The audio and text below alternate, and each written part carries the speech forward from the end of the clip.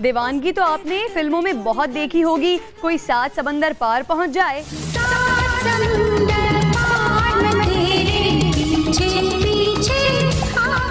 तो कोई इश्क में कातिल बन जाए।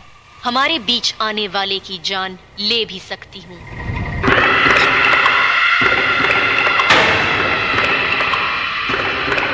इश्क का जुनून तो डॉली के सर पर भी सवार है। महबूब से मिलने को बेकरार है.